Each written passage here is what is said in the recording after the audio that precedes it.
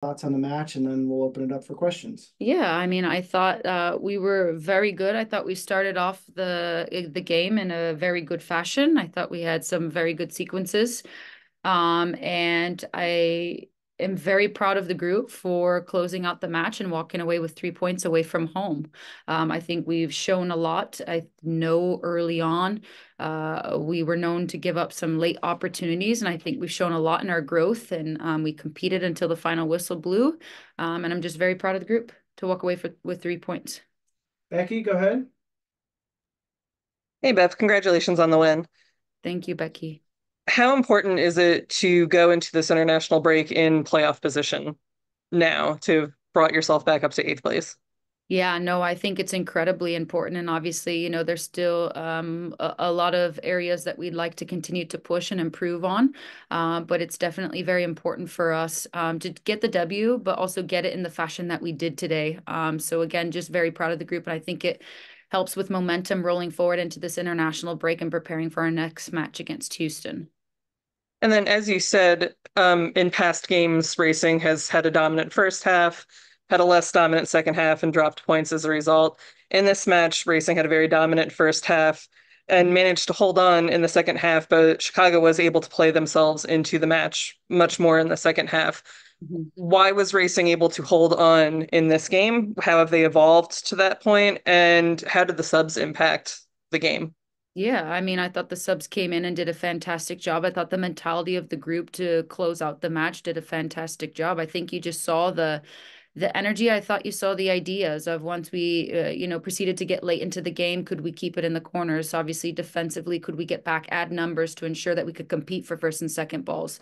Um, so for me uh, obviously katie lund had some incredible saves as well on top of everybody's work ethic to get back and affect first and second balls as much as possible.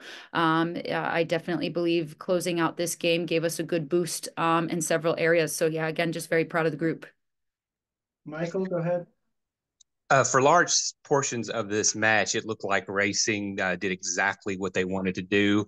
Uh, how close do you think the team was to, to executing kind of the game plan as you visualized it? Yeah, it's a fantastic question. I mean, I think this one was a big one for our identity and being the best version of ourselves um, on the match. So for me, uh, obviously, the way that we started. Um, the momentum that we had specifically first half and continuing to progress forward, continuing to create opportunities. Obviously, Emma scores um, a heck of a goal, uh, but the fashion that we did it in, um, and then continued to push through and show our mentality in the second half. For me, um, they they of course uh, did their best attempt in regards to executing the game plan, but for us, this game plan was our identity um, and being the best versions of ourselves on the day because we thought our identity fit the match. Paul, go ahead. Yeah, Bev. Uh, Katie described uh, Emma's goal as being pretty sick. I'd like to hear your thoughts on that goal, and and if you could speak to the confidence that this rookie has, just um, you know, eight nine games into the season. Yeah, I mean it's a hell of a goal, isn't it? Um it's it's a fantastic finish and I think she's just continuing to showcase um so many attributes of her game and she's continuing to grow confidence in the opportunities that have presented herself and she's just running with the opportunities. So for me, um it's been a joy to continue to see her progression every week, to continue to see her attitude, to continue to see her work hard um and create as much as she has. Um and again, of course, our jobs is to continue to push her uh to continue to develop in our environment, but very proud of her. Um, and I thought the goal was a, a hell of a goal. Michael, go ahead again. Uh, I think we're so used to seeing uh, Savannah DeMello, uh, you know, get an assist or score. But I mean, I really thought she played excellently in this match. So just kind of want to hear your thoughts about how she kind of controlled the match and controlled the midfield. Yeah, and I think just the relationship of um, the midfield in general and the movement off of each other tonight was um, was very good.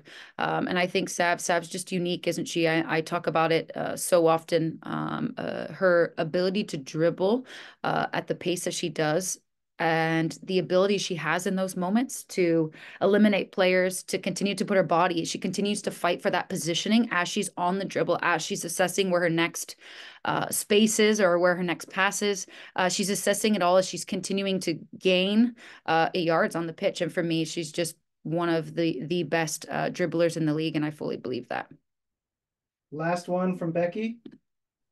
Racing has started the season with an incredibly tough schedule, with the majority of the games against teams in playoff position.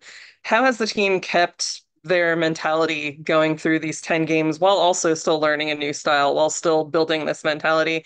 And how do you think that's going to carry them, this win in particular, is going to carry them through to the next 10 games? Yeah, I mean, what better opportunity to test where we're at, um, to test what we believe we're capable of, and to continue to progress, uh, pro progress through this process by assessing it with the teams that we've continued to play, right? Um, and so for us, I think it's put us in a very good position to understand where we're at, what we believe we can accomplish this season. And I think obviously getting these three points and putting us in the, uh, you know, in eighth at the moment to be in that position for this international break really uh, gives us a boost from a momentum standpoint, carrying into obviously what we will do in order to prepare against Houston next match. All right, thank you, Bev. Thank you, guys.